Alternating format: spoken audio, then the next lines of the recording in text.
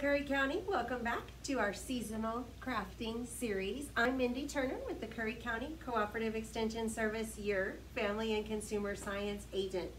We are talking about crafting for our mental health, doing some fun things and not blowing our budget to make some sweet, fun gifts or keepsakes for ourselves that we can use found items or repurposed, recycled items that might just be on clearance right about now. Some of those seasonal things that we can bring back into our home. So we talked a little about terracotta pots last time. This time we are going to talk about those jar lids. So we know with our canning jars you have your, your insert, your lid piece, which I lost mine, there they are.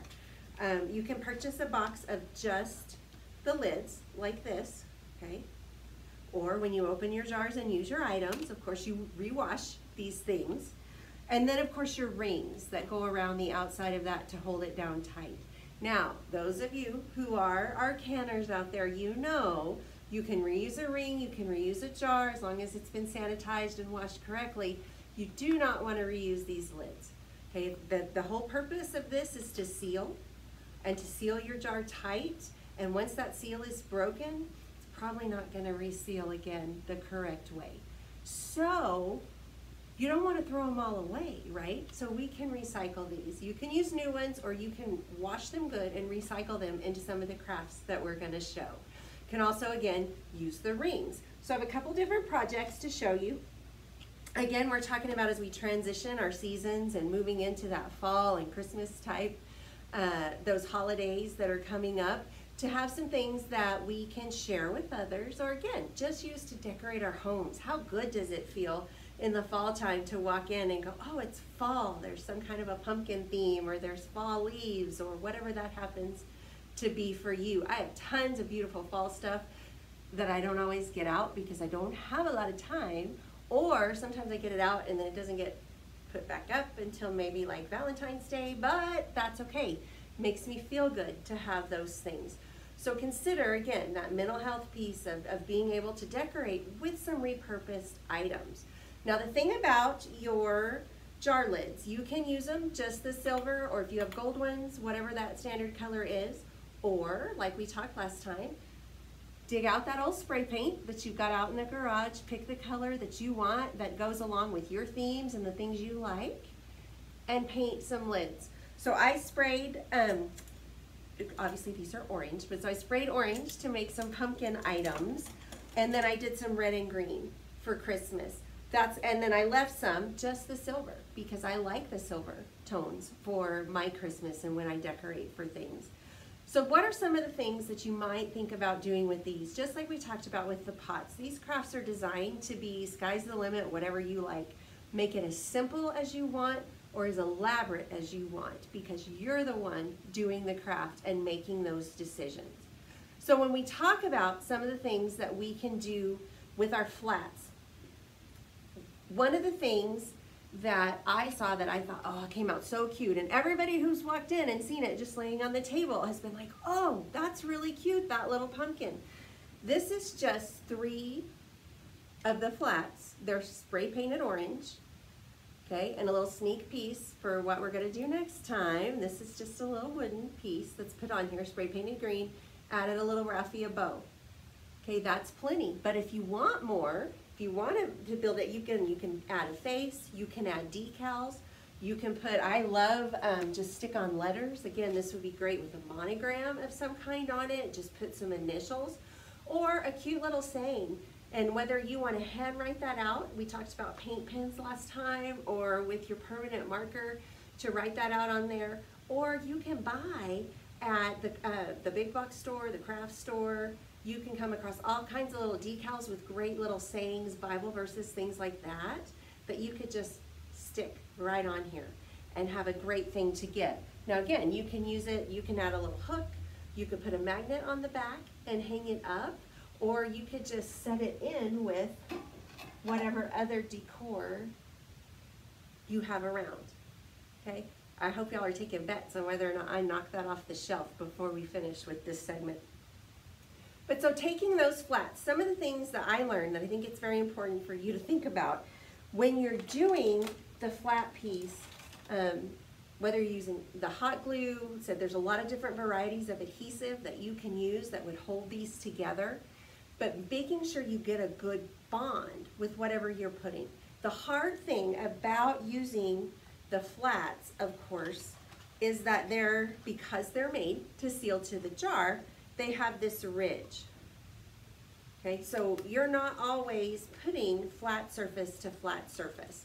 So you have to make sure that you get your glue, I don't know if you can see it on the silver one, that they have the rim where you have to make sure you get that glue on that rim so that it adheres to the flat part.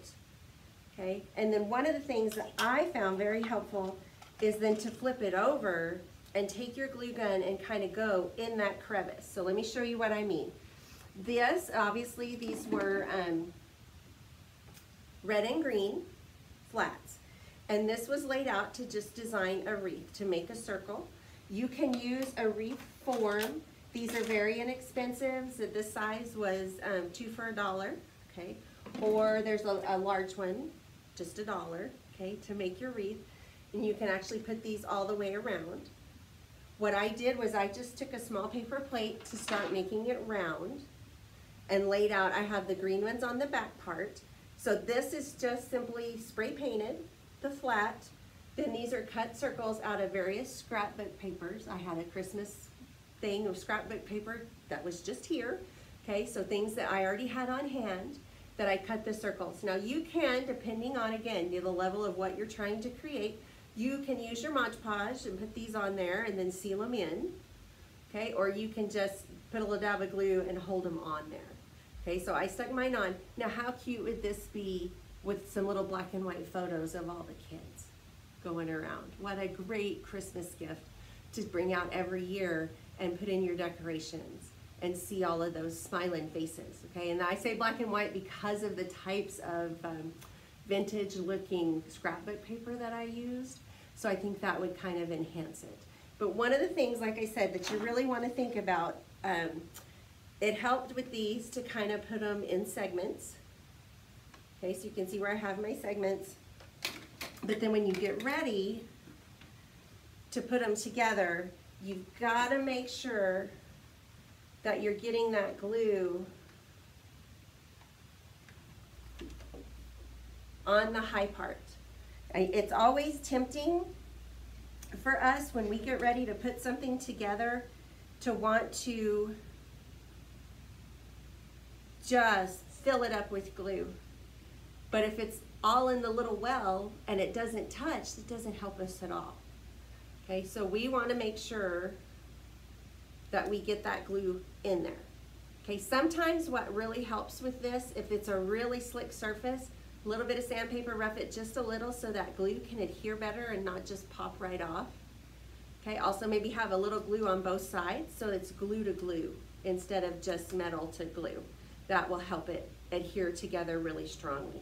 Okay, the other piece then to really cement it, once you get them laid like this and they're glued from that top side, is you can take that gun and just like I was talking about, plopping that into the crevice right there to fill it up to make it hold tight.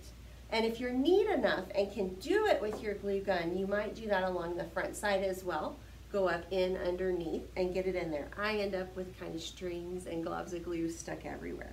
So that's not the ideal way for me to do it. Also with these, once you have those flats made like that, maybe you don't want to make a whole wreath. Or maybe you want to give multiple people things. So you can, of course, take your individual ones. If you have a 10 punch or just a nail and a hammer, poke a hole in that, tie a string. Again, add that sweet photo what a great ornament. How fun is that? Or string several together. Okay, maybe um, actually use twine or burlap ribbon, something across there, so that you can make a garland. Add letters, spell out words, make fun things that you can hang up, decorate around your house. Very inexpensive. Okay, so you can see I also made some for fall. Okay, the orange paint, and then just some great, this one is um, a brown and these are kind of a burnt orange color on that scrapbook paper. So like I mentioned, you can go crossways, but you can also go down. So this is just a piece, again, it's burlap ribbon, with a long tail hanging down. So one of the fun ways that you could do, and you could do this with the Christmas or with your fall theme, okay, and just put a little glue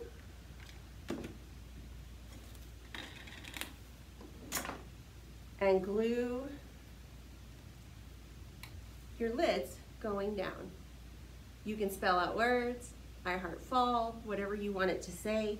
You can add three-dimensional type items, okay, to the front. This is just a little red truck with a pumpkin in the back. That's kind of fun.